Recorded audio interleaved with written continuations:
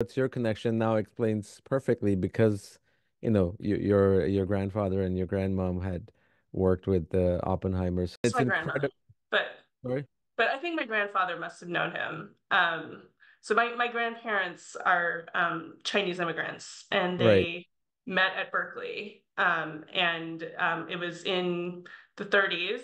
Um, and so they arrived, and Ernest Lawrence, who is um, Josh Hartnett's character in the movie. He's hmm the he's the guy who's really into experimental physics. He designed the cyclotron, uh, won the Nobel Prize for that. Um, he was basically my grandmother's mentor.